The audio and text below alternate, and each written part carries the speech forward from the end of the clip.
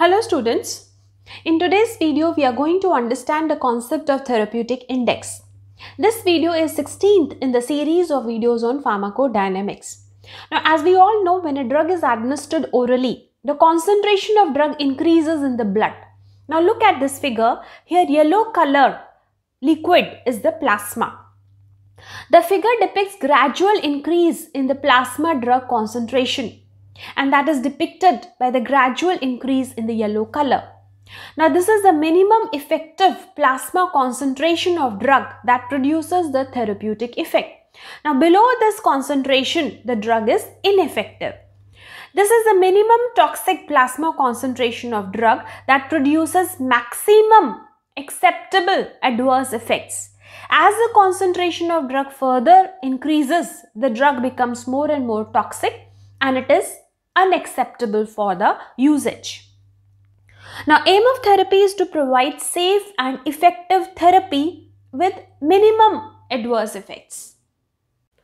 Uh, so, in a very simple language, therapeutic index is the ratio that compares toxic plasma concentration to effective plasma concentration of drug. So, this is the therapeutic index. Larger is the therapeutic index, safer is the drug. Now look at this figure. There is a very small difference between effective concentration of drug that produces the therapeutic effect and toxic, toxic concentration of drug that produces the toxicity. So a small increase in the concentration of drug or small increase in the dose that produces the therapeutic effect can cause toxicity. So these type of drugs they have a narrow therapeutic index and they must be administered or dosed very carefully because difference between the two concentration is very small. So therapeutic index determines safety margin of drug. Now in case of narrow therapeutic index the drug once administered should be monitored closely for the signs of drug toxicity which could be immediately treated. Now these type of drugs exhibit uh, low safety margin of drug. Few examples of uh, drugs with narrow therapeutic index are uh, digoxin, theophylline, warfarin, etc. Now look at this figure. There is a huge difference. There is a huge difference between the effective concentration of drug that produces therapeutic effect and concentration that produces the toxicity. So these drugs are the safe drugs and they exhibit high safety margin. For example, acetaminophen also called as paracetamol, ibuprofen, then macrolide antibiotics like azithromycin, then quinolones like ciprofloxacin. Now let's talk about the clinical therapeutic index and pharmacological therapeutic index.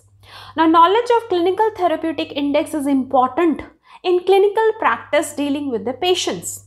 While pharmacological therapeutic index is determined during experimental animal studies.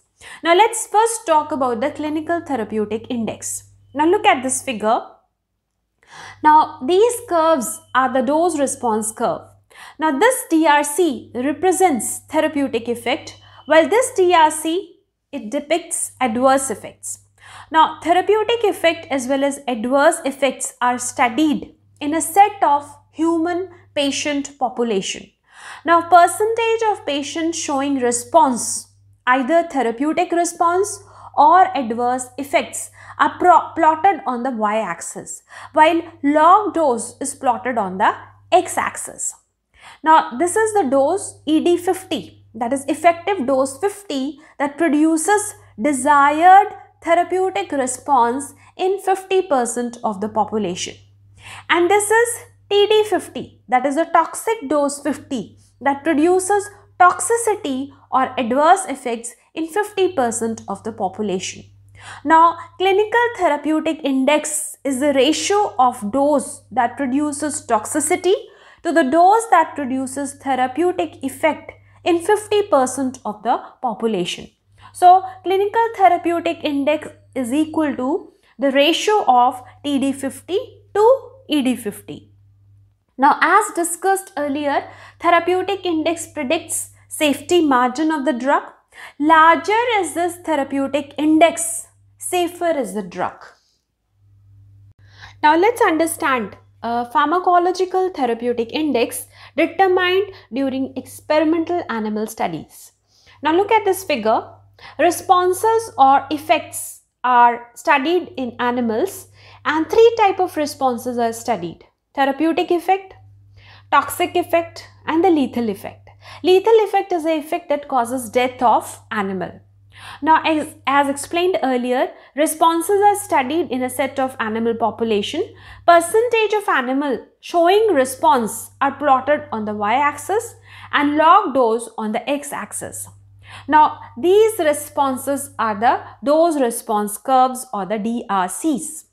Now, this DRC represents therapeutic effect produced in animal.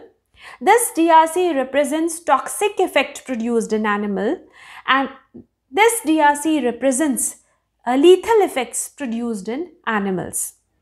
That is the dose that causes death of animal. Now ED50, uh, this is the ED50. ED50 is the median effective dose.